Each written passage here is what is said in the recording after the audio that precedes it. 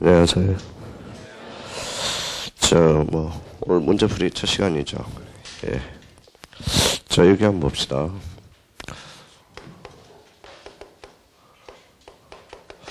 자, 문제집은 몇 번 풀어야 효과가 있어요? 몇 번 정도 풀어야 돼? 요 정도는 풀어야 돼요.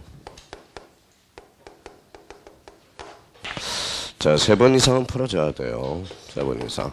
몇월 달까지요? 7, 8월 달까지. 어떻게 하면 그러면 봐봐요. 제가 지금 뭐 오늘 뭐가 나가요? 지적이 먼저 나갔죠. 그럼 본인은 뭐 풀고 있어야 돼요? 본인은 예습으로. 그게 제일 미련한 방법이에요. 이거 풀고 있어야 돼요. 등기, 그죠? 근데 이제 나중에는 몰라서 틀리는 게 아니라 까먹어서 틀리는 거거든요. 그러면 여기 봐봐요. 제가 수업 진도는 여기 나가죠. 여기 나가니까 자기는 등기 쪽에다가 예습을 하고, 뭐, 지적은 복습하시면 돼요. 복습하시면. 그럼 세 번, 세 번 정도 풉니다. 저희가 여기 지적 미리 한번 다 풀었을 거 아니에요. 안 풀었나요? 자, 자기가 한번 풀고, 저, 저랑 한번 또 풀거든요. 풀라는 거, 복습 문제, 이제. 그럼 두 번 푸는 거거든. 그러면 뭐, 자기가 집에 가서 복습도 한번 하면 세 번 정도 풀게 되는 겁니다. 적어도 문제집은 세 번 이상 풀어줘야 돼요. 자꾸 이것저것 볼 필요가 없다라는 겁니다. 딱 요번 달에 7, 8월 달에 뭐만 가지고 있으면 돼요. 약집 세 번. 첫 번째만 읽을 때만 시간이 많이 걸리지. 두 번째 읽을 때는 시간이 많이 안 걸려요. 오늘 요번 주 일요일 날뭐 있죠? 저, 자, 특강 있죠? 그때 뭐 문제예요? 그래서 등기 위주로 많이 할까 생각 중입니다. 등기 위주로. 어차피 지적은 지금 진도 나가고 있잖아요. 그러니까 등기가 상당히 어려워하지 뭐 지적이 뭐 지적은 뭐 이거는 지적은 마음은 돼요. 암기하면 되죠. 지적은 뭐 문제가 안 풀린다라는 것은 두 가지 문제예요. 하나는 암기, 하나는 암기를 했는데 요쪽에다 접목을 못 시킨다라는 겁니다. 요 문제에다가 뭐 이게 이게 뭐 단점이지 딴 게 있겠습니까? 등기는 좀 힘들어요. 왜 힘들을까요?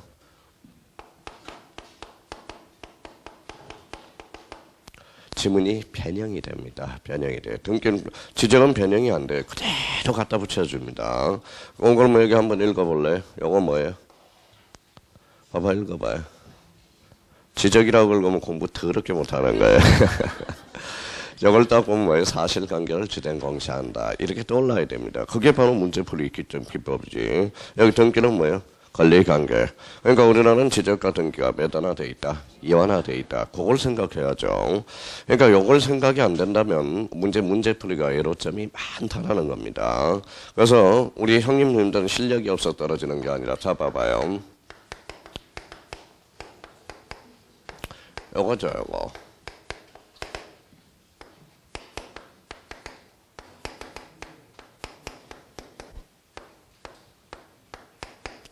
뭐라고 써놨어요? 첫 칸에 뭐가 들어가요? 왜 가학이에요? 가구지. 가구지, 그렇죠? 그러니까 요즘 뭡니까? 요즘 희한합니다. 애들한테 침대는 그럼 가구라고 그래요. 가구. 이게 말이 됩니까? 아, 과학이다 이렇게 이야기하면. 봐봐요. 또 이렇게 이야기하면 뭐라 그래? 영어는 그럼 뭐라 그래? 뭐가 들어갈까요? 영어는 외국어.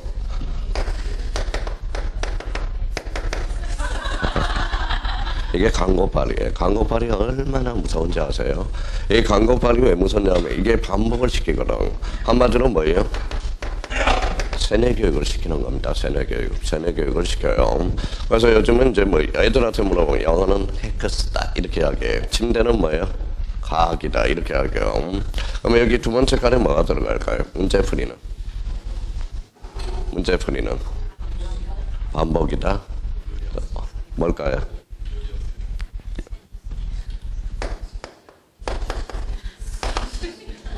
문제 풀이는 기술입니다. 기술이에요. 아까 말씀한 기술이라는 것은 뭐예요? 요령입니다. 요령. 근데 문제 풀이를 하는 기술이 너무 안 돼 있어요. 사람들이. 자, 옛날하고 학창 시절 때는 안 그랬는데 왜 문제 풀이를 하게 되면 뭐예요? 이상해요. 문제 풀이. 어쨌든 문제 풀이 이제 민법 문제 풀이 하는데 뭐예요? 그냥 대충 풀면 안 돼요. 문제 풀이는 뭘로 풀어요? 자, 문제 풀이는 뭘로 풀어요? 머리로 풀어요? 손으로 풀어요? 손으로 좀 보세요. 손으로, 손으로.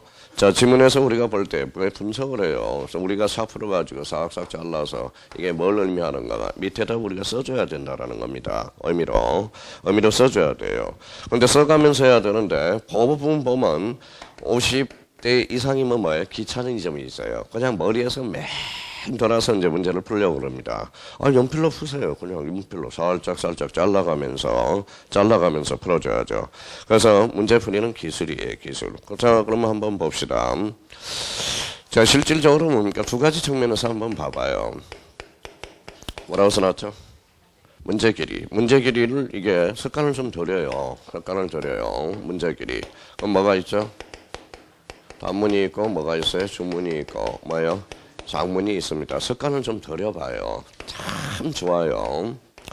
자, 그러면 이렇게 이제 문제 풀이할 때 뭐예요? 단문이다. 단문이면 이렇게 읽어요. 이렇게 읽어. 습관을 좀 들여요. 자, 중문이면 뭐예요? 중문이면 몇 번부터 읽어요? 설사 답이 1번에 있더라도 이렇게 읽으라고. 1, 5, 4, 3, 2, 1로. 그러면 장문은 어떻게 읽어요? 장문은. 장문은 이렇게 읽으라고 몇 번? 3번부터 이렇게 그냥 회전하는 이게 이 온갖 고시 문제는 맞아 떨어져요. 맞아 떨어집니다. 그럼 봐봐요.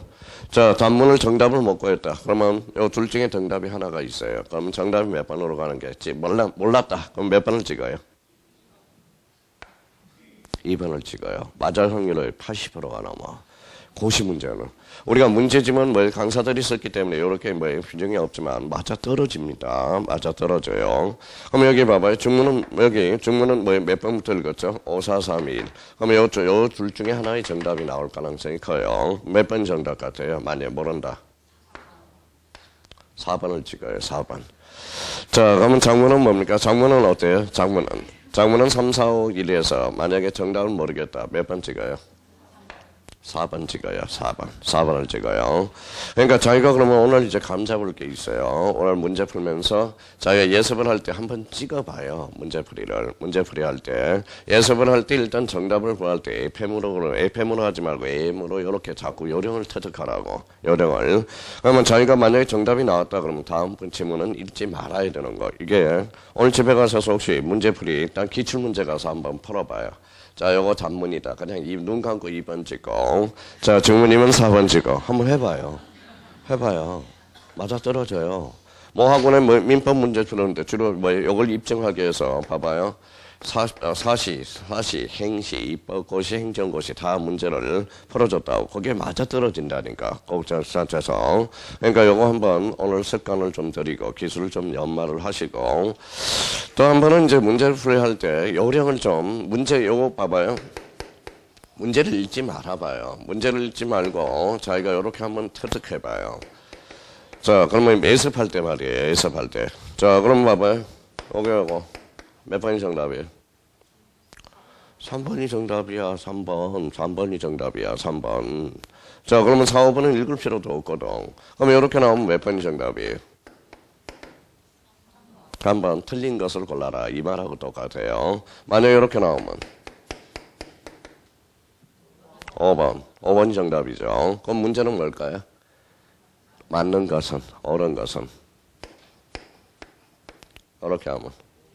5번이죠. 이 문제는 뭐예요? 틀린 것은. 그럼 자기가 예습할 때 5번을 읽었다. 5번을 읽었다. 모르는 거예요, 사실. 그러니까 4개 지문, 5개 지문 중에 하나를 모르더라도 답은 찍어내는 요령이 있어야 된다는 거예요, 요령이. 요령이 없다라는 겁니다. 그러니까 이걸 잘 한번 생각해 보세요. 그러니까 예습할 때 그냥 풀지 말고 요 문제 길이 한번 매책하고 그 다음에 요걸 한번 생각해 보세요. 작년 3, 2년 전에, 2년 전에 여기 있어요. 민법 100점 맞은 애가 있어요. 영수라고. 제 제자인데 공시 100점, 민법 100점이에요. 얘는 문제도 안 읽어요. 읽지 말라고 그랬거든. 문제를 읽지 말라고 그랬어요. 민법도 사례 문제가 아닌 이상 읽을 필요가 없어요. 그냥 가서 찍으면 돼. 지금은. 그럼 결론적으로 뭐라는 거예요? 한번 생각 한번 해봅시다. 그리고 또 하나는 이런 의미를 실질적으로 잡아놓고 또 두 번째입니다. 봐봐요. 자, 1번 몇 개예요? 자, 1번이 문항수가 한 배가 돼요. 몇 개? 8개. 2번 은? 8개 3번은, 8개 4번은, 8개 4번은, 8개 5, 8, 40. 그렇죠?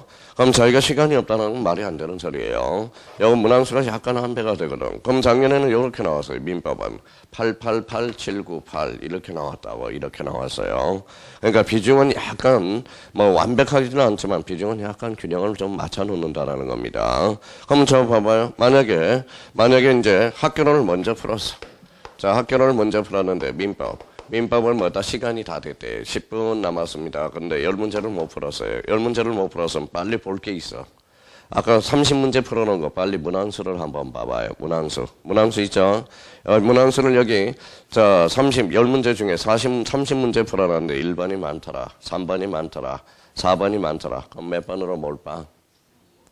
2번으로 몰빵이든지 5번으로 몰빵을 줘야 돼요. 어떤 사람은 바보처럼 어떻게 창피하다고 1, 2, 3, 4, 5, 1, 2, 3, 4 하나도 안 맞아요. 하나도 안 맞아. 하나도 안 맞아.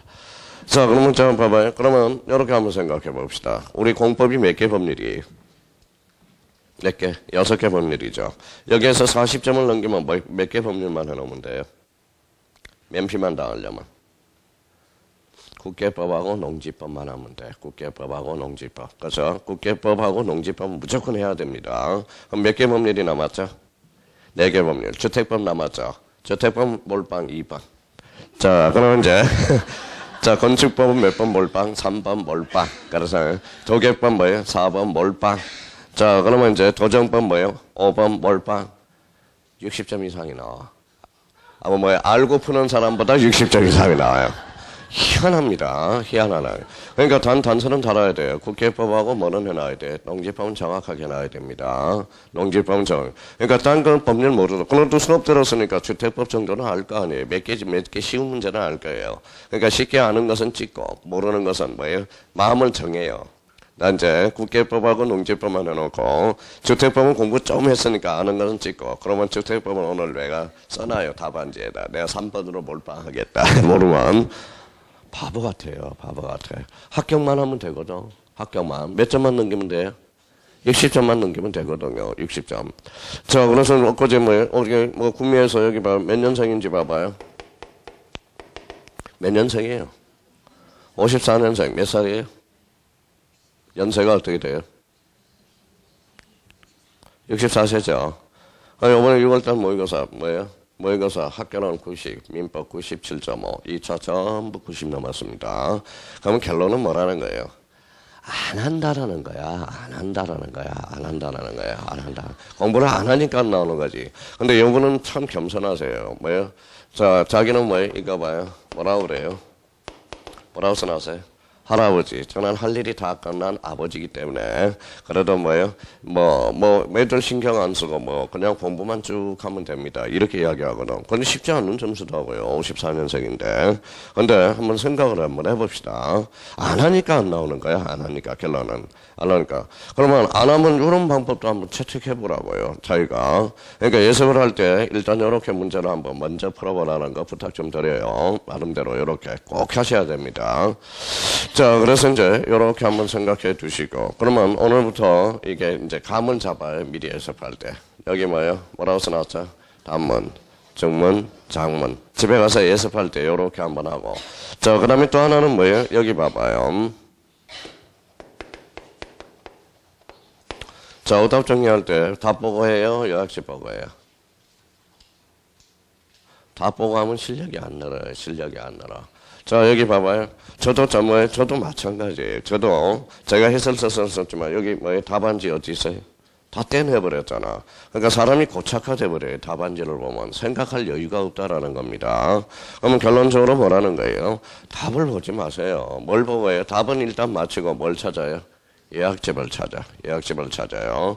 어제 이제 이제 어제 수업을 하는데 요 부분 한번 찾아봐라. 안 찾아 못 찾는 거야 못 찾는 거야. 이 내용이 어디에 있는지 숨어 있는 걸 찾으면 공부 다 된 거거든 된 거거든. 그러면 자기가 뭐늘 그랬잖아요. 자기가 문제 모의고사 open book으로 한번 풀어보세요. 만약에 기본서를 딱 갖다 놓고 기본서 찾아서 몇 문제 풀 수 있는지 한번 테스트 한번 해보세요. 몇 문제 풀지도 못해요 풀지도 못해. 사실 솔직한 말로. 그러면 결론적으로 뭐라는 거예요? 자 나름대로 자꾸 넓히지 말고 답지는 어디로 해요? 오답 정리는 요약집으로 하시라는 거예요. 그럼 찾다 보면 어디에 숨어 있는지 찾다 보면 그게 바로 오답 정리가 된다라는 거 기억해 두시고 자 그러면 이제 나름대로 요거 잘 기억해 두셔야 돼요. 잘 하세요. 요거만 하면 오늘 요번 달에 모의고사 만약에 다다음 달 모의고사 볼 때 점수가 2, 30점이 올라갑니다. 한번 다 해봤던 거예요. 해보니까 효과가 좋으니까 말씀드리는 거지. 효과가 없으면 말도 말씀도 안 드린다고. 그래서 나름대로 잘 보시고 그리고 저기 꼭 지키셔야 돼. 제일 제가 지정 나갈 때 등기 나가셔야 돼. 등기를 문제를 미리 쫙 풀어보고 계시라고. 그러면 제가 지- 지정 나갈 등기 나갈 때 뭐 지적, 지적을 복습을 하고 계시라고. 그럼 여기 봐봐요. 자, 그럼 또 우리 민법 보죠. 제1편 무슨 정칙이 있죠? 민청이죠. 제2편은 물권법이죠. 물권법. 제3편은 뭐예요? 계약법이죠. 계약법. 자, 제4편은 뭐가 있죠? 민사특별법. 그러면 우리 민법 교수님이 민청을 하고 있을 때 자기는 민사특별법 문제집 가서 따로 풀고 있어야 된다고. 그럼 자기가 이제 그럼 민청이 끝났다. 그럼 민청은 그날 배운 거 이제 복습을 좀 하고 민청이 끝났다. 그럼 물권법으로 넘어왔어요. 자기는 그러면 뭐 보고 있어야 돼? 민청을 다시 가서 미리 또 복습하고 있어야 된다고. 그러니까 잘 생각해요. 지금은 7, 8월 달에는 딴 방법이 없어요. 빨리빨리 볼 수 있는 거. 로테이션 기법을 잘 기억해 둘 필요가 있어요. 그러니까 이번 달에는 7, 8월 달에는 몰라서 틀린 게 아니라 결론적으로 까먹어서 틀린다는 거. 그걸 기억해 달라는 거. 머릿속에 지금 다 있어요. 온갖 잡동상이 다 있다라는 겁니다. 내용들이. 그러니까 요 방법을 잘 해서 나머지 과목도 마찬가지예요. 그러니까 요 로테이션 기법을 잘 생각해 둬야 돼요. 그러니까 민법 민청 나가는데 민청 풀고 물권법 가는데 물권법 풀고 그러면 계약법 가는데 계약법 풀고 그러면 여기 민사특별 보면 민청과 물권법은 가물가물하다고 사실 따지고 보면 그러니까 그 기법을 잘 해놓고 또 하나는 문제집도 이제 한 건이에요. 무슨 말씀인지 아시겠죠? 문제집 한건 여러 건 푸는 게 아니라 문제집을 세 번 이상 푸는 게 오히려 고득점으로 가는 비법입니다. 요약집도 마찬가지고 이제 절대 이제 자 지금 보는 현재 7, 8월 달에 이후에 보는 책은 절대 바꿔서는 안 됩니다. 새로운 책을 보게 되면 반복이 안 되거든. 빨리빨리 볼 수가 없거든. 그거는 꼭 지켜주셔야 된다는 거. 자 그럼 문제집 한번 봅시다. 자, 그러면 이제 문제집 제1편을 한번 봐봐요.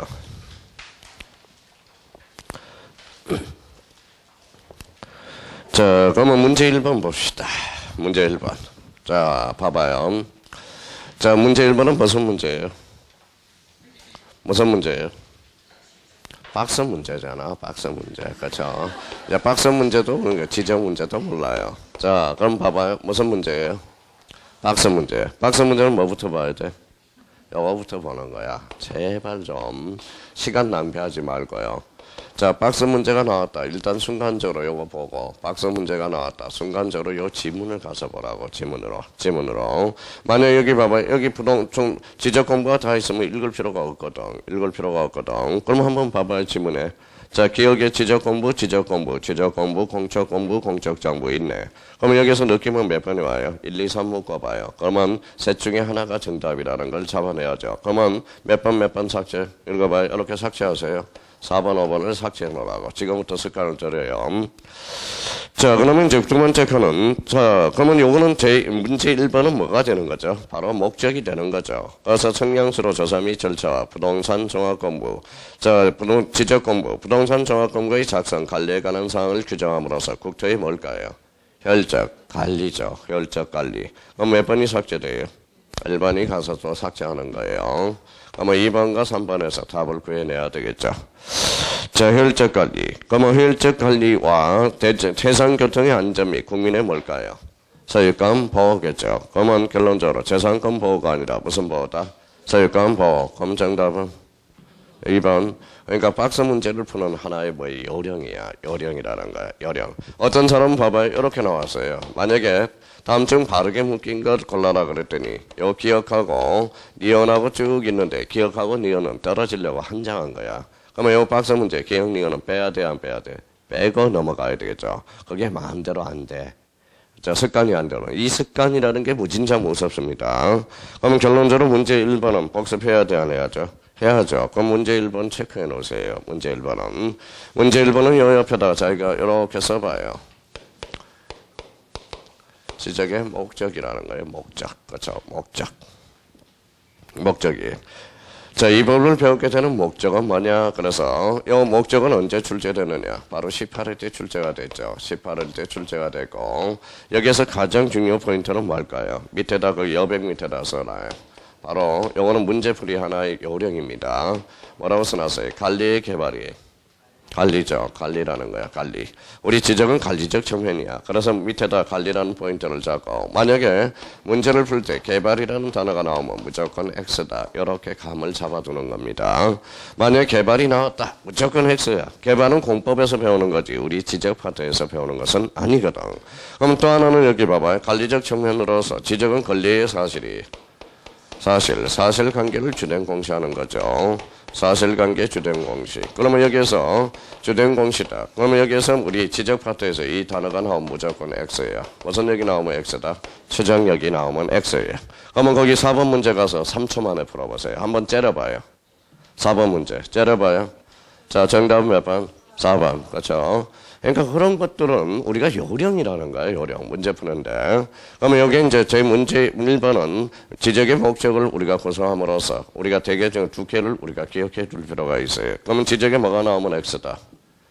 제 개발이 나오면 X다, 오다. X다. 지적은 권리다, 사실이다. 사실. 그럼 결론적으로 추정력은 미치지 않는다라는 결론이 떨어져요. 앞으로 이제 문제 풀때 혹시 지적 파트의 문제를 풀 때는 뭐부터 찾는다? 틀린 거 그러면 개발. 그 다음에 추정력 이런 게 나오면 무조건 엑셀 하는 걸 다시 한번 이 문제로 해서 이거는 꼭 기억해 줘서 복습을 해줘야 돼. 자 그러면 여기 한번 봐봐요.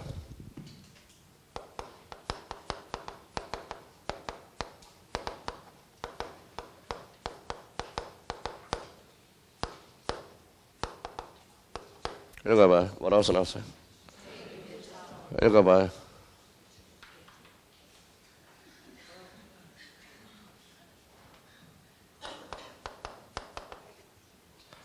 이게 주택임대차보호법에 바로 국민의 주거를 안정을 확보하기 위해서 주거라는 거야 주거. 자 그러면 여기 봐봐. 이내는 무슨 인이죠? 자인인가 뭐가 있다? 법인. 자인은 주거권이 있어요 없어요? 있어. 법인은 주거권이 없다라는 거. 그래서 이거 외우고 있는 사람은 진짜 바보야. 공부를 잘못하고 있다라는 겁니다. 잘못하고 있다는 거. 자 그러면 결론적으로 주택 임대차 보호법은 결론적으로 자인은 적용이 있지만 법인은 적용이 있어 없어? 없어. 뭐 SH 뭐 특수 법인은 A적인 거지만 법인은 원칙적으로 적용이 없다라는 거야. 뭐기 때문에 주거 거죠. 주거.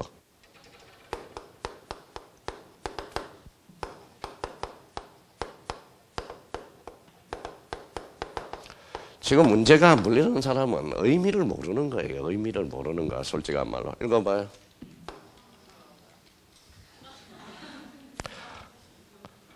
목적도 모르고 공부하는 거야. 공부.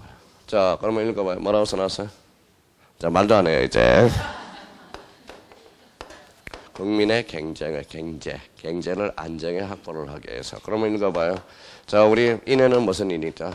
자인인, 뭐요? 법인. 자인도 경제활동 해야 안 해? 하죠. 법인도.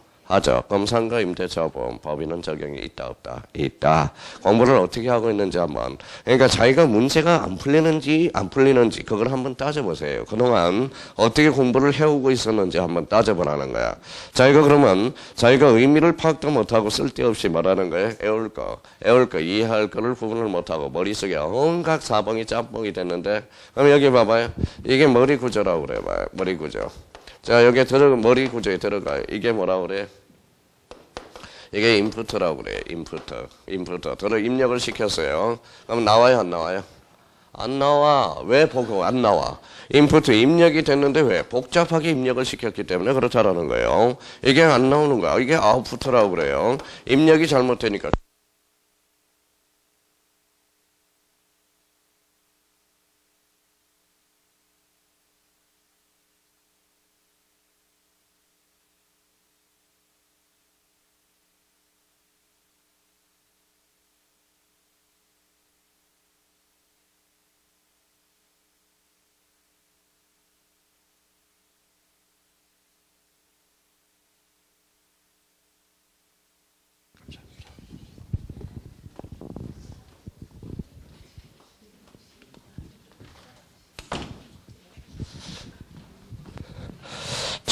자, 여기 봅시다. 이게 잘 한번 판단해 봐요. 입력이 잘 되는지 출력이 잘 되는지. 그런데 어떤 사람은 점수도 안 나오지만 입력을 가지런히 정리했기 때문에 점수가 잘 나온다는 걸 기억해 두시고요. 그러니까 문제 풀이는 생각을 해야 됩니다. 그냥 무턱대고 하면 안 돼요. 안 되면 이제 외워야 되겠죠. 그런 측면에서 보면.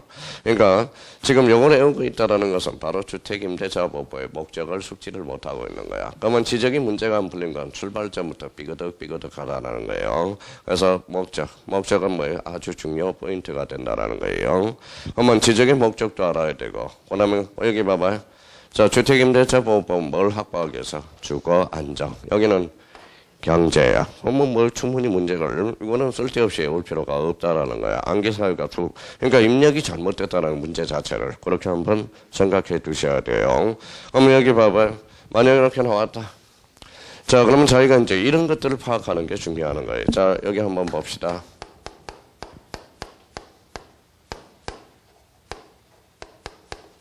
뭐라고 써놨어요? 토지형 계획학연서 읽어봐요. 뭐라고 써놨죠? 개발이야. 그러면 토지형 계획학연서는 우리 지적 파트에서 나오면 원칙상 X야. 하나를 제외한 나머지는. 토지형 계획학연서는 무조건 X예요. 한 군데. 토지, 그게 부동산 종합공부의 등록사항을 제외한 나머지. 뭐 읽어봐요. 토지형이 뭐니까? 개발이니까. 개발이니까. 자, 그러면 여기 봐봐요. 18회 2.5점짜리가 이거죠. 다음 중 공간 정보 구축 및 관리에 관한 법의 입법 목적이 아닌 것을 골라라. 이렇게 출제됐어요. 한번 읽어봐요. 뭐라고 써놨죠? 뭐라고 써놨어요? 국토정진. 두 자로 건치면. 개발이거든. 그렇죠. 국토정진은 개발이라는 거예요. 그러면 국토정진의 그 기여함을 목적으로 한다. 어때요? X야. 국토정진은 뭐라는 거예요? 개발. 그러니까 요 행간의 의미를 못 읽어내는 겁니다. 그러니까 뭐 아까 수학 문제 풀듯이 뭐예요? 이렇게 밑줄을 가면서 문제를 풀어 나가야 된다라는 겁니다. 그리고 다음 거는 그러면 정확하게 우리가 봐봐요. 이렇게 한번 봐봐요. 뭐라고 써놨어요? 자, 이게 쉬운 지문이지 어려운 지문이지 봐봐요. 읽어봐요. 현재는 어사 표시다. OX.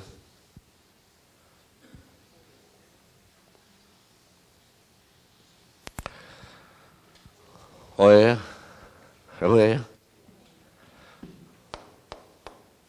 지금 헷갈린 게 대물 변제가 있어. 대물 변제. 대물 변제하고 변제는 달라요. 무슨 말씀인지 아시겠죠? 변제는 뭐예요? 바로 법률 사실입니다. 법률 사실. 즉 의사 표시가 아니에요. 그래서 변제는 의사 표시다. 틀렸다라는 거야. 그러면 대물 변제는 뭐예요? 계약이거든. 계약 중에서도 그러면 대물 변제는 의사 표시다. 맞아요. 대표적인 요물 계약이 되거든. 그럼 자기가 이런 것들은 잘 암기를 해야 된다고. 읽어봐요. 그러니까 점수가 민법 점수들이 정확하게 안 나오는 거야. 읽어봐요. 변제. 변제하고 대물 변제는 같다 다르다. 다르다. 자 그러면 여기 봐봐요.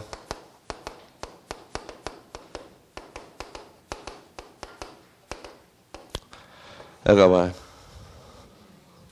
읽어봐요. 읽어봐요. 여기는 뭐예요? 그러니까 문제가 안 풀리는 거예요, 문제가. 한번 봐봐요. 채무인수 그러면 어떤 사람은 계약이라고 그러가. 그래서 채무인수는 계약, 즉 채권행위가 돼. 채무면제는 뭐예요? 물건행위가 돼버려. 무슨 물건행위가 돼버려. 그러면 채무인수와 면제는 같다 다르다 다르다라는 거야. 인사하고 변제는 완전 다른 개념입니다. 그러면 여기 봐봐요. 여기 한번 봐봐요. 또. 자, 그러니까 자기가 꼼꼼하게 안 숙지를 안 해서 그래요.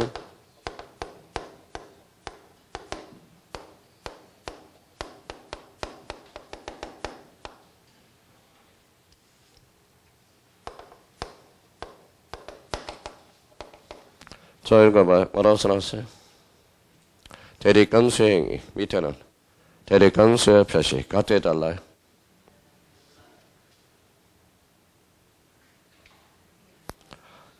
봐봐요. 문제 풀 준비가 하나도 안 돼 있지. 그렇죠. 하나도 안 돼 있지. 자, 여기 뭐라고 써놨어요? 행위. 여기는 표시. 대립관 수의 행위는 뭡니까? 이거는 법률 행위가 돼요. 자, 여기 뭐라고 써놨어요? 표시. 각종의 표시와 통지는 뭐예요? 뭐라고 써놨죠? 간념의 통지가 돼. 한번 봐봐요. 글씨 한자의 탑이 이렇게 달라집니다. 그러니까 우리 남자들은 대표분 대충대충 하니까 꼼꼼하지 못하니까 맨날 틀리는 거야. 그러니까 안 되니까 뭐예요? 실력이 이제 이제 재수 좋으면 맞고 재수 없으면 틀린다라는 거예요. 그러면 대리권 수행이 대리권 표시행이 다른 내용입니다. 그러면 결론적으로 변제와 대물 변제 다른 내용이에요. 변제. 그래서 우리 벌써 암기가 된 사람은 뭐예요? 요 변제는 혼합사실행위로서 변사부 선물 이렇게 암기가 된 사람은 벌써 딱 정리가 돼 들어가는 겁니다. 그러면 오늘부터 봐봐요. 행간의 연필로 풀어가면서 행간의 의미를 자꾸 파악하라고요. 그럼 결론적으로 봐봐요. 이거는 무슨 의미죠? 개발. 이거는 개발이야. 그러면 지적 파트에서 개발이 나오면 무조건 X 나오다. X. 자 어떤 측면이? 관리적 측면. 자, 사실관계를 주된 공시한다. 머릿속에 완전 박으라고요. 요 두 개를 외움으로써 뭐예요? 암기 사유가 팍 줄어든다라는 겁니다. 그러면 사실관계. 사실관계는 추정력이 미쳐, 안 미쳐? 안 미쳐. 그러면 여기에서 읽어봐요. 읽죠. 등기 파트로 연결하면 표제부 등기거든. 표제부는 권리야 사실이야. 사실. 그럼 추정력은 미치지 않는다라는 결론이 떨어집니다. 그래서 의미도 그렇게 이제 파악해서 그러니까 요 1번은 집에 가서 샘플로 잘 공부하셔야 돼요. 자, 그래서 이제 1번과 관련돼서는 아주 중요합니다. 목적은 알아야 돼, 기본적으로. 요 문제는 다시 한번 알아도 다시 확인하고. 그래서 이제 1번의 정답은 몇 번이다? 2번. 그러면 문제 2번을 한번 풀어봐요. 자, 문제 2번 한번 풀어봐요. 자, 감이 있는지 없는지, 저희가 지적 파트를 풀 수 있는 뭐가 있는지 한번 잡아보자고. 자, 시간 40초입니다. 한번 풀어보세요.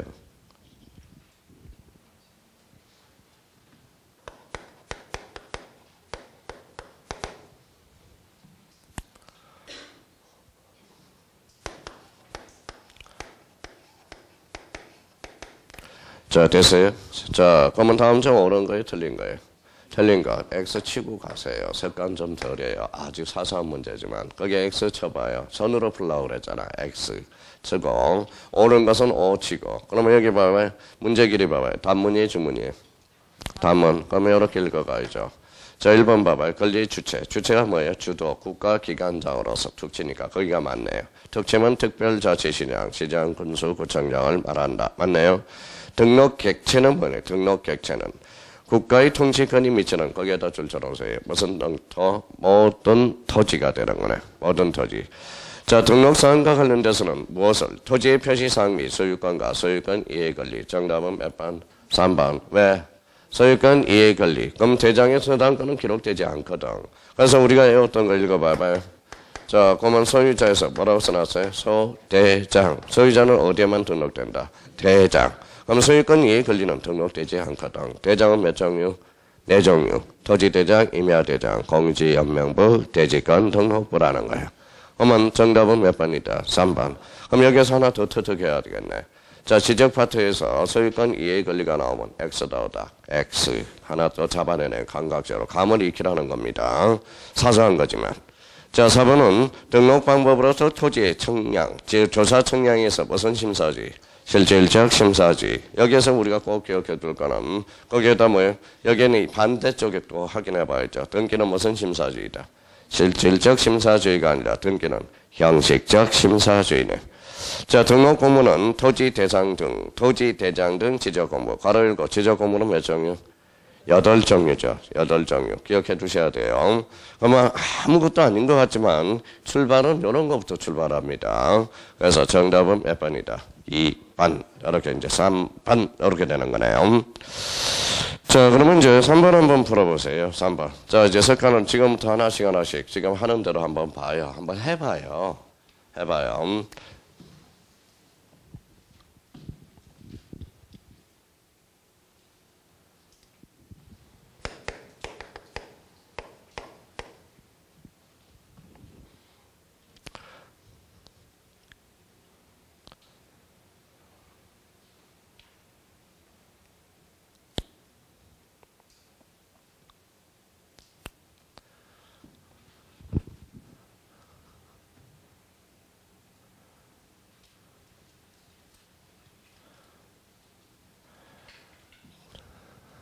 자, 됐어요? 여기 한번 봐봐요. 문제 3번. X에어예요.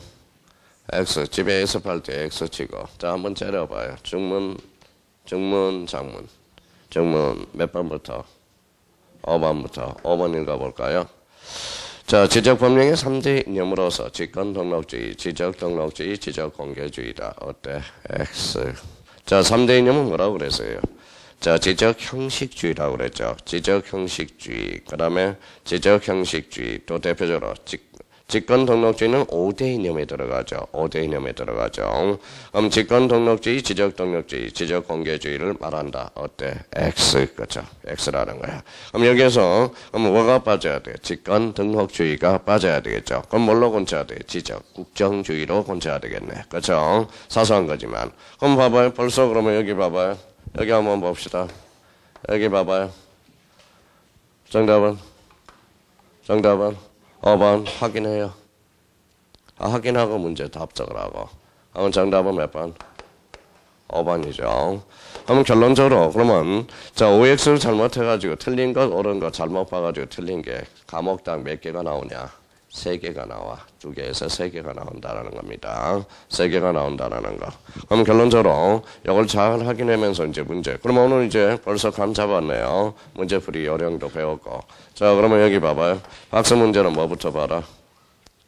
지문부터, 지문부터 먼저 보고 박스로 들어가라. 이게 뭐예요? 포인트고요.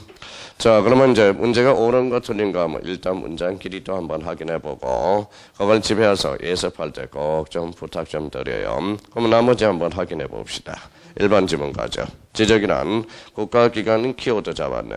국가기관인 지적성한지 무슨 영토, 모든 영토를 무슨 단위로 필지 단위로 구역해서 토지에 대한 물리적 현황, 물리적 현황과 법적 권리 관계 등을 공적 정부에 등록 공시하고 그 변동사항을 영속적으로 등록 관리 국가 사무를 말한다. 포인트는 이제 여기서 관리라는 포인트가 하나 딱 눈에 들어와야 되는. 자 무슨 영토? 모든 영토 무슨 단위로? 필지 단위로. 자 이번에 협의의 지적의 3요소 협의의 지적의 3요소는 토지를 어디에 지적 공부에 많은가 등록하는 것. 그래서 토지와 등록과 지적 공부는 지적의 3요소 협의로 보는 겁니다. 근데 넓게 잡아서 강의 지적의 3요소는 뭐라고 써놨죠? 소유자, 권리, 필지. 그러면 결론적으로 협의로 보는 나라는 법률이 두 개라는 겁니다. 좁게 넓게 잡은 나라는 바로 뭐 청량수로 조사 및 공간정보 구축 및 관리에 관한 법과 부동산 등기법이 이원화되어 있지 않는 나라에 일원화되어 있는 나라거든. 그럼 여기서 이제 중요한 것은 자 봐봐요. 이렇게 갑자기 물어본다고 간단하지만 우리 봐봐요.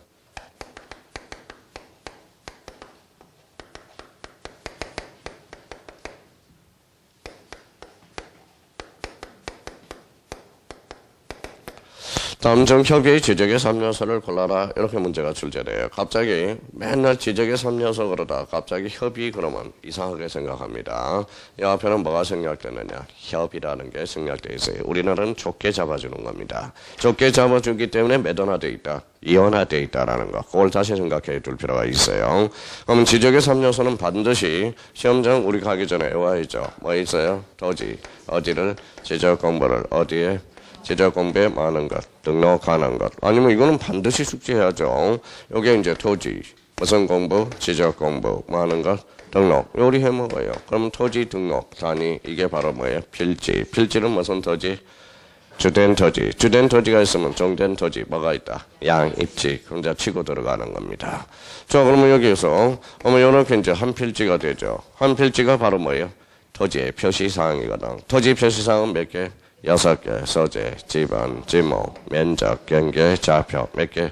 여섯 개 치고 들어가야죠. 이걸 이름을 뭐로 붙였어요? 바로 토지의 표시로 붙인 거야. 그러면 토지의 표시상에는 1, 2, 3, 4, 5, 6 여섯 개가 뭉치면 몇 필지? 한 필지. 필지를 뭐라 그래? 토지, 등록, 단위 이렇게 나가는 겁니다. 자, 3번에 우리나라의 지적의 분류는 법제적, 도의지적, 수치적, 2차원, 적극적 지적을 채택하고 있다. 맞네요. 자, 3번은 지적 공부에 등록하는 집안, 지목, 면적, 경계 좌표는 토지 이동이 있을 때 토지 소유자의 신청에 의해서 누가 결정해요? 지적소환청이 결정하나 신청이 없을 때 지적소환청이 뭘로? 직권으로 조사 정리하여 말 수 있다. 결정할 수 있다. 4번은 올해도 역시 출제 예상 문제입니다. 예상 지문이에요. 그러면 벌써 공부가 된 사람은 이제 여기에서 뭘 파생시켜요? 자, 봐봐요. 벌써 공부가 된 사람은 이렇게 봐봐요. 읽어봐요. 뭐라고 써놨죠? 여기 읽어봐요. 하세요. 모든 토지는 누가 결정해? 국토교통부 장관이. 이거는 무조건 해오는 거야, 이거는. 그러면 토지 표시 결정은 누가 해요?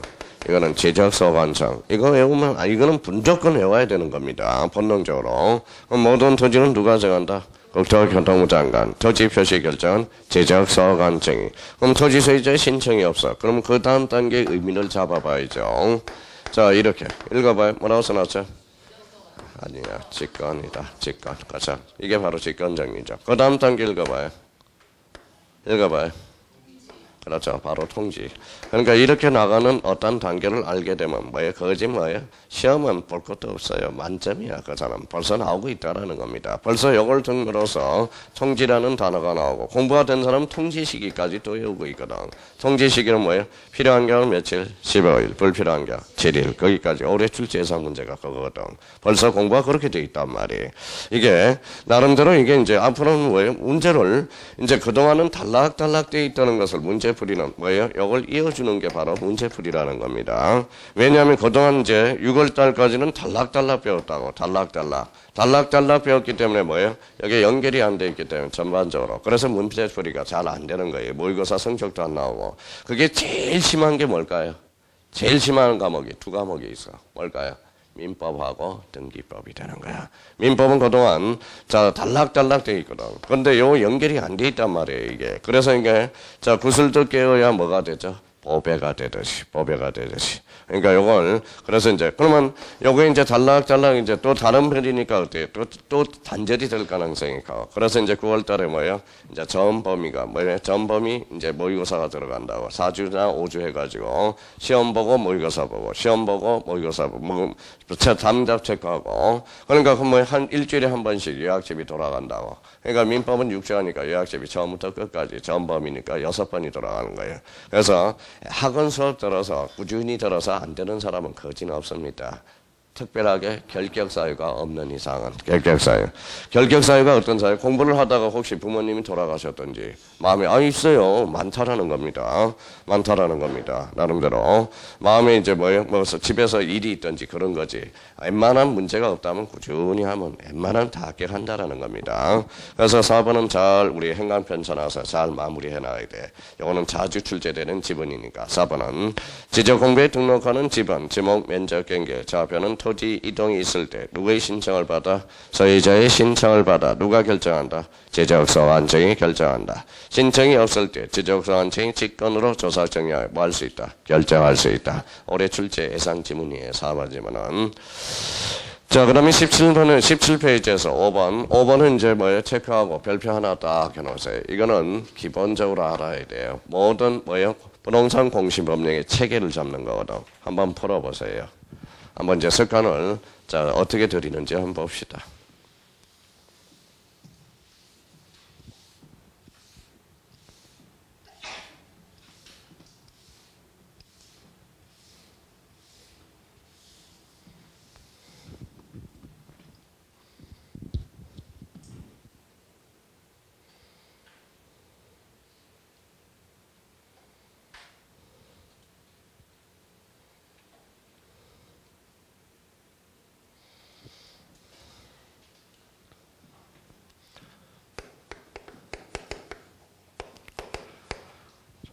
자, 시간 다 됐어요. 어려운가요? 틀린가요? 틀린가? 문제 때려봐요. 자, 장문, 단문, 장문, 중문. 그럼 5번부터 읽어봅시다. 자, 심사권 범인에게 이 방법에 있어 지적과 등기는 차이가 없다. 어때? X. 지적을 죽지만 실질적 심사주의. 등기를 죽지만 형식적 심사주의. 그럼 정답은? 봐봐요. 지금 제가 써서 그런 게 아니라 저 집 맞아 떨어져요. 그러면 확인하고 5번하고 다음 문제로 넘어가는 겁니다. 다음 문제로 넘어가는 거예요. 그러니까 시간을 엄청나게 많이 버는 거예요. 세이브를 시켜서 시간 싸움입니다. 시간 싸움. 자, 그러면 이제 나머지 한번 정리해보죠.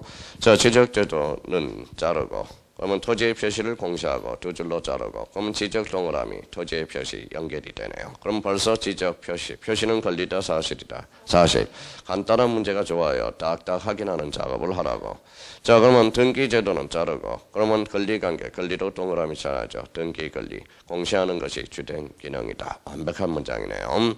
자 토지의 표시 표시 동그라미 표시는 권리다 사실이다 사실 토지의 표시에 관해서 지적 공부와 등기부의 기록상이 상호할지 일치하지 않은 경우 잘라봐요. 그러면 뒤에는 뭐가 툭 튀어나와야 돼? 지적 공부. 지적 공부의 등록상을 우선으로 한다. 왜? 앞에 뭐가 붙어서 토지의 표시. 얼마나 아름다운 문장이 됐어요.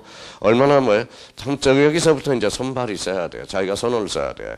자, 누님들은 안 돼요. 연필로 써야 돼. 왜 자꾸 뭐예요? 눈으로 풀 생각을 해. 그러면 뭐예요? 연필로 살짝 살짝 해서 자기가 진하게는 칠하지 않더라도 분석을 해 나가라는 겁니다. 분석을 해 나가라는 겁니다. 자, 그러면 사랑은 연필로 써요. 연필로 써. 카톡으로 쓰지 말고, 카톡으로 쓰지 말고. 사건. 자, 그러면 거기 한번 봅시다. 그러면 1번, 3번 봐봐요. 토지의 표시에 관해서 지적 공부와 토지 표시, 토지 소유자에 관해서 잘라봐요. 지적 공부와 등기부의 기록상이 상호할지 일치하지 아니한 경우 잘라봐요. 잘랐어요? 그럼 지금 맨 앞에 뭐가 붙어서? 소유자. 소유자는 권리야 사실이야? 권리. 권리죠? 그러니까 뒤에 뭐가 붙어야 돼? 등기부의 기록상을 우선적으로 한다. 맞네요. 그러면 그러면 2번과 3번의 차이점은 제도가 두 개가 나오죠. 2번 제도는 뭘까요? 가로 열고. 공부된 사람. 써요. 이게 바로 등기 척탁이네. 등기 척탁. 그렇죠. 등기 척탁. 이번 지문을 딱 읽으면서 자기가 이렇게 집약을 시켜야 돼. 무슨 척탁이다? 등기 척탁이다. 그럼 등기 척탁이 오래 딱 하면 등기 척탁은 툭 치면 사실관계 변동이거든. 그러면 등기 척탁을 탁 치면 뭐가 떠나야 돼? 대표적으로 신규 등록은 등기 척탁사에서 뭐 된다? 제된다. 신자가 무슨 신자? 새로운 신, 대장도 없고 등기부도 없어. 지금 현재 상태는 일치시킬 필요가 없거든. 그럼 결론적으로 신규 등록, 신규 등록 등기 척탁사에서 뭐 된다? 제외. 그럼 4번은 3번 지문은 3번 지문은 뭘까요 이게? 여기 가로 열고 무슨 제도다? 이게 등기필 통지 제도가 되죠. 통지 제도, 등기필 통지 제도. 뭐라고? 등기를 마쳤다고 통지해 주는 거야.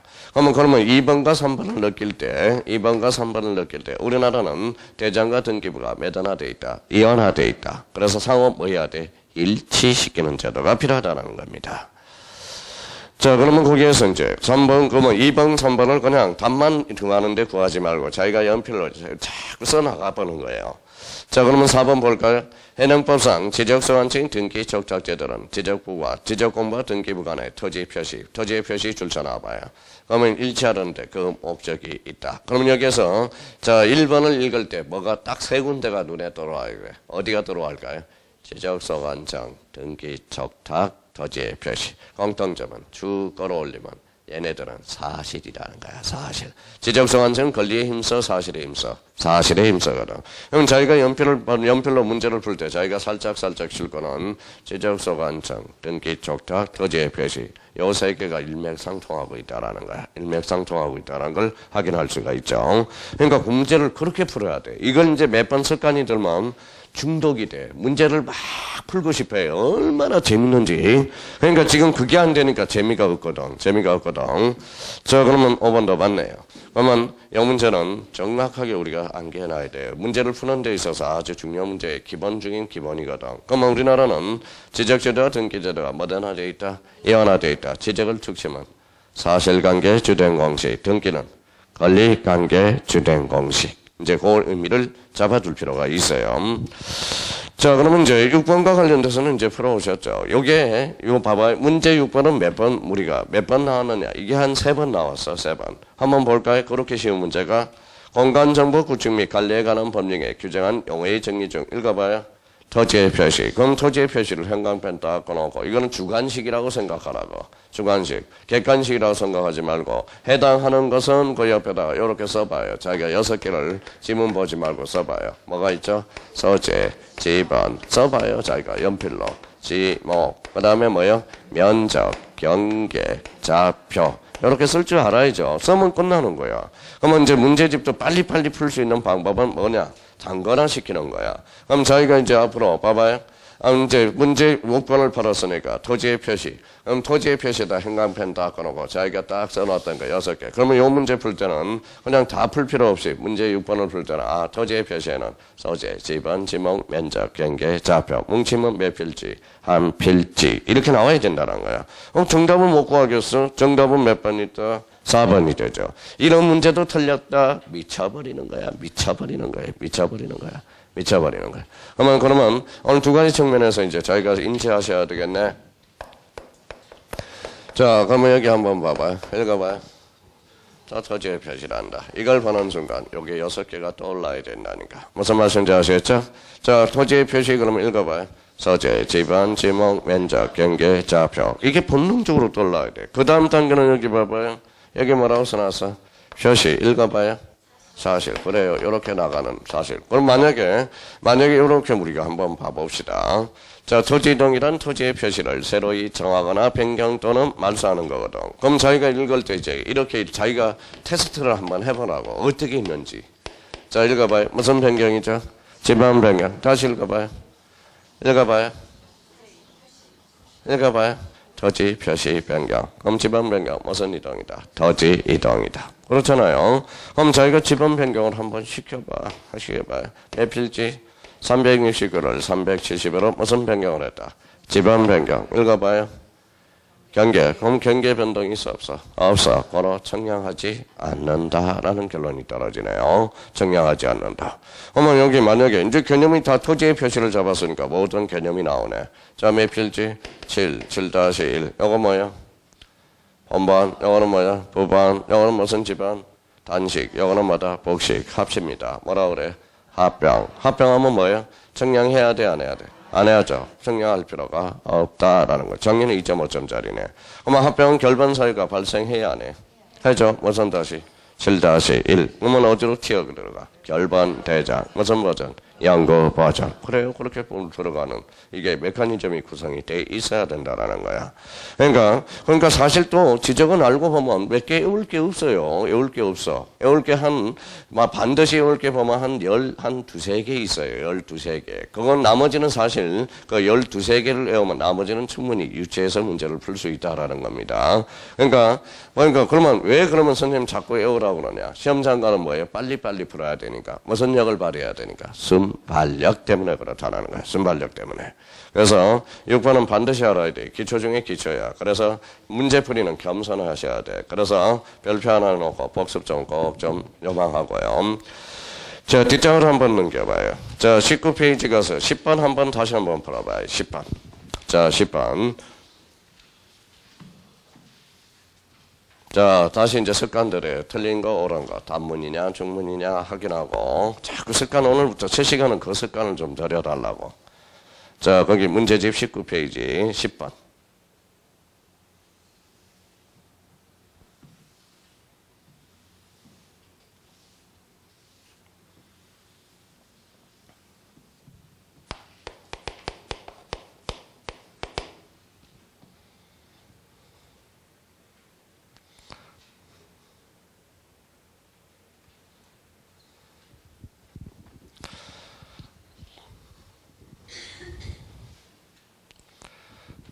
됐어요? 자, 옳은 거예요? 틀린 거예요? 장문, 중문? 중문이요? 그럼 중문으로 생각하고 풀어보죠. 느낌은 중문이라는 거. 5번 볼까요? 경계, 경계 줄 쳐놔봐요. 그러면 툭 쳐야죠. 세 군데, 두 군데가 탁 나와야 돼. 필지별, 직선, 그 다음에 끝. 자, 4번은 축적 변경이란 지적도 틀렸네. 뭐예요? 도면 틀렸네요. 도면이 아니라 무슨 도예? 지적도예. 자, 지적적인 정밀도를 높이기 위해서 어디에서 어디로? 작은 축척에서 큰 축척으로. 그럼 정답은 몇 번? 4번. 이렇게 되는 거네. 자, 석간 들이면 아주 좋아요. 무시무시합니다. 석간만 잘 들어놓으면. 자, 정답은 몇 번이다? 4번. 그럼 올해 문제 10, 문제 10번은 왜 풀어놓고 올까요?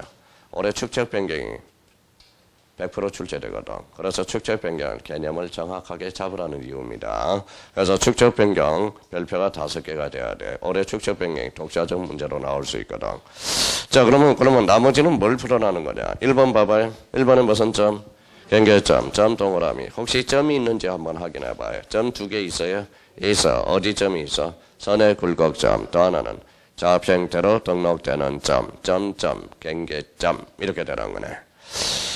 자, 그러면 이제 이번에 일반 청량입니다. 일반 청량이 뭐였느냐? 이런 거는 자, 일반 청량 여기 봐봐요. 일반 청량이 요거는 선생님 안 배웠다. 안 배웠다 그러지 말고 일반 청량이 다시 한번 잡아봐요. 일반 청량이 원래는 그 밑에다 써놔봐요. 이게 잡종 청량이었거든. 읽어봐요. 무슨 청량이죠? 잡종 청량. 잡종 청량이 뭘까요? 그냥 잡종이야. 무슨 말씀인지 아시겠죠? 여기 봐봐요. 여기 뭐라고 써놨어? 잡종이죠. 잡종. 잡종. 그러면 재산 중에서도 무슨 재산이 있어? 잡종 재산. 그럼 뭐, 뭐 여기 봐봐요. 그래서 이 잡종이라는 단어를 못 쓰게 했다고. 왜? 자, 잡종. 우리나라는 그러면 단일 민족이에요? 다음 국가예요? 단일 민족 아니에요. 우리, 짜- 우리나라는 짬뽕 국가예요. 무슨 말씀인지 아시겠죠? 외국인 노동자들 많이 와서 한국 사람하고 결혼하잖아. 그럼 외국인하고 뭐예요? 우리나라 사람하고 병행하면 뭐가 나와요? 그게 잡종이야. 무슨 말씀인지 아시겠죠? 그래서 잡종이라는 용어가 안 좋은 단어라서 이게 인권 유린이다 해서 읽어봐요. 잡종 재산을 뭐로 바꿨어? 일반 재산. 그럼 잡종 청량도 뭐로 바꿨어? 일반 청량. 그럼 봐봐요. 벌써 눈치 빠른 사람을 봐봐요. 일반 청량이란. 읽어봐요. 기본 청량. 읽어봐요. 공공 청량. 읽어봐요. 제적 청량, 수로 청량, 외, 외자 동그라미. 이 외자가 바로 뭐예요? 바로 잡종 청량을 나타내요. 그러면 이걸 뺀 나머지는 전부 무슨 청량이다? 잡종 청량이다. 전 잡종 청량이 무슨 청량이다? 일반 청량이라는 거야. 벌써 뭐 공부를 안 한 사람이라도 감이 있는 사람은 벌써 일반 청량하면 거기에다 외자에다 동그라미 쳐놓는다고. 무슨 말씀인지 아시겠죠? 그러니까 모르더라도 포인트를 잡아 나가야 돼. 포인트를 잡아 나가야 돼. 자, 그러면 거기 한번 봅시다. 그러면 3번의 지번 부여직이란 툭 치면 어디로 가 있어야 돼? 동리. 동리가 여기, 동리 자리가 항상 자기가 공부가 준비되어 있는 사람은 툭 치면 툭 치면 툭 치면 툭 간다고. 그러면 동리라는 것은 엄면이 아니라 뭐야? 동리. 그러면 영어는 뭘 가르쳐 주는 거예요? 아, 모르는 지문이 있더라도 뭐에 포기하지 말라는 거야. 뭔가 그 단어의 의미 속에서 뭐가 있다라는 겁니다. 있다라는 의미를 잡아둘 필요가 있어요. 자, 그러면 이제 정답은 몇 번이다? 4번. 그러면 여기 이제 뒷장을 한번 일단 넘겨놓고 우리 한 문제 풀고 잠시 쉬었다 들어가게. 자, 뒷장을 쭉 한번 넘겨봐요. 몇 페이지로 가시냐면, 자, 30페이지, 36번으로 가봐요. 자, 36번 작년 기출문제야. 포기하지 말고 한번 풀어봐요. 박, 한번 문제는 답은 박스 안에 있어. 박스 안에 있어. 제일 많이 나오는 단어가 뭔지를 찾아봐. 문제 36번. 30페이지 36번. 찾았어요? 예, 제일 많이 나오는 단어가 뭐예요? 사업이잖아, 사업. 뭐라고? 사업, 사업. 그럼 사업이 나오면 몇 번하고 몇 번이 정답이야? 1번하고 2번이 정답이야. 근데 소사 나올 까면 고목은 있어. 근데 이제 첫 줄 보니까 지적서 완성이 도시개발 준공 되기 전이야 후야. 그러면 인가서가 아니라 뭐예요? 계획도네. 그렇죠? 계획이네. 계획. 그럼 정답은 몇 번이다? 1번. 이거는 뭐예요? 알고 푸는 게 아닙니다. 무슨 말씀인지 아시겠죠? 알고 푸는 게 아니라 모든 문제는 그러면 이제 하나 가르쳐 줬네요. 자, 여기 봐봐요. 무슨 과목? 학교론. 학교론은 문제 안에서 답을 찾아야 돼요. 아, 밖에서 찾으면 정답이 안 나와요. 지금 학교론 점수가 안 나온 사람은 밖에서 찾아오니까 안 돼. 학교론 문제는 이 문제 안에서 정답을 찾아와야 돼. 근데 민법은 민법은 어디서 찾아와야 돼? 베이스에서 깔아서 뭐다 찾아와야 돼. 지문 베이스 밑에 깔아와서 찾아와야 돼. 그러니까 거목이 그러면 어디가 어려워요? 민법이 어렵다라는 거야. 지문 베이스에 깔려 있는 내용을 알아야 되거든. 내용을 알아야 되거든. 내용을 알아야 되거든. 그러니까 그걸 모르면 모르면 여기 한번 봐봐요.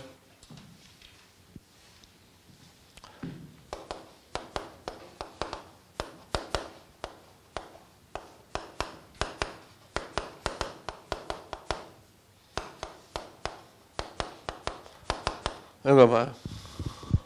탈편평이는 읽어봐요. 모두 무효이다. 여기 뭐라고 써놨어요? 틀렸어. 틀렸어. 뭐 법이 뭐 모두 무효냐 뭐가 있어요. 틀린 거야. 모두가 들어갔으면 X예요. 예. X. 한번 읽어봐요. 뭐라고 써놨어요? 탈법행위는 두 개가 있거든.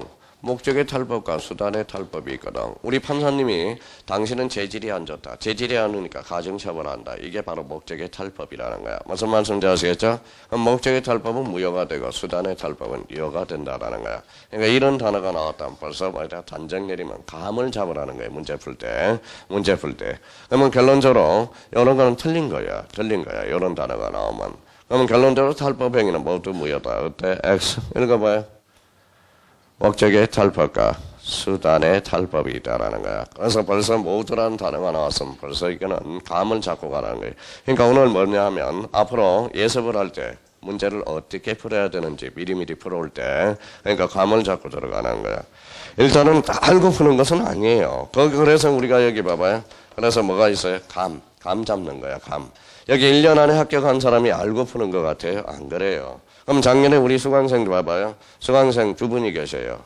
맨날 모의고사 하다 보다 7.5, 7.5, 7.5, 7.5. 수업은 하나도 안 빠졌어요. 자기는 자신감은 있대. 그래 시험장 가서 뭐예요? 7.5가 72.5가 나오는 거야. 자기는 모르겠대. 왜 그렇게 72.5가 나오는지는 모르겠대. 그러니까 그 사람은 뭐예요? 이게 확실히 잡혔다는 거야. 문제 찍는 뭐가 생겼다? 감이 생겼다는 거야. 아, 진짜예요. 진짜예요. 진짜예요. 진짜. 감이라는 게 무시해. 그럼 뭐 1년에 공부해서 알고 푸는지 아세요? 알고 푸는 거 몇 개 없습니다. 40문제 중에 몇 개예요? 10개 알면 수석이에요. 수석, 수석이에요. 나머지는 감으로 푸는 거야. 이게 다 깠다. 다 깠다. 다 깠다. 다 깠다. 진짜 저- 자기가 알고 풀려면 몇 년 해야 되는지 아세요? 자, 놀랄걸요?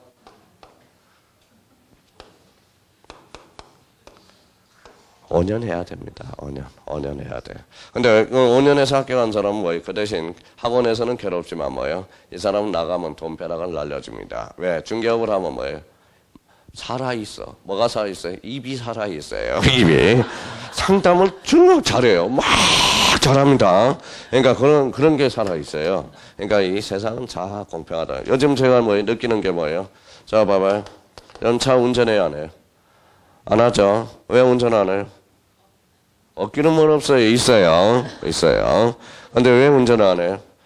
운동을 못 하니까 걸어 다니는 게 운동이거든. 그럼 지금 뭐, 뭐 저랑 나이 비슷하고 나 두세 살이인 사람은 지금 어떤지 아세요? 자, 젊었을 때 뭐 돈 좀 있다고 해서 차 끌고 다니다. 지금은 지금 현재 상태는 어떤지 아세요? 이러고 다녀요.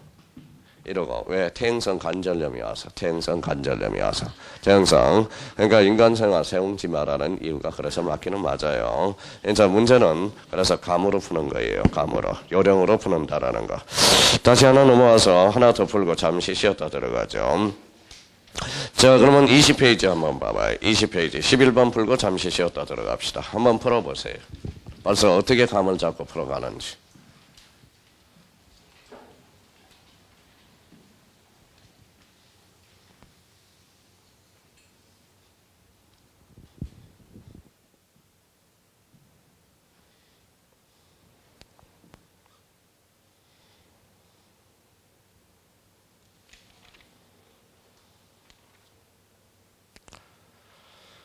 자, 틀린 거예요? 옳은 거예요? 틀린 거. 뭐, 다, 느낌은 단문, 중문? 중문? 중문이면 5번부터 풀죠. 지적 기준자만. 앞에 지적 동그라미. 그러면 뒤에 지적, 지적, 지적 나와야 되는데 삼각점 나왔네. 정답은 5번이네. 그죠? 그러면 삼각점과 지적 삼각점은 같다, 다르다. 다르다. 그죠? 정답은 몇 번? 5번. 봐봐요. 가희가 공부를 어떻게 하고 있는지를 한번 따져보라는 거야. 아, 따져보라는 거예요. 정답은 몇 번이다? 5번. 자, 그러면 거기 1번 봐봐요. 신규 등록, 신규 등록 신동그라미 뒤에 툭 치면 새로 이 끝나고요. 2번 지적 확정 청약 툭 치면 도시개발 사업 끝났네요. 지적 청량 수행자라면 읽어봐요. 지적 청량 업자와 한국국토정보공사 오케이. 면적이란 툭 치면 수평 면상 넓이. 수평 면상 넓이 툭 치면 이 차원. 우리나라는 몇 차원 지적을 채택하고 있다. 2차원. 2차원 지적을 뭐라고 그런다? 수평 지적. 다른 말로 평면 지적. 봐봐요. 공부할 게 하나도 없어. 느낌만 가진다면. 느낌만 가진다면. 앞으로 그 느낌대로 가야 돼. 그 느낌대로. 그러면 봐봐요. 만약에 자기가 여기 봐봐요. 1번하고 2번에서 막 답이 이제 헷갈려. 헷갈려. 그러면 몇 번 자기가 1번을 찍었어요. 1번을 찍었. 근데 첫 번째 찍은 놈이 정답이야. 첫 번째 놈이. 그러면 자기가 2번 같아. 그럼 내버려 둬요. 그러면 각오를 해. 내가 요거 틀리면 내년에 또 한다. 그러면 내년에 또 안 해요. 무슨 말씀인지 아시겠죠? 요거 건치면 가는 거야. 건치면 내년에 또 하게 되는 거야. 건치면.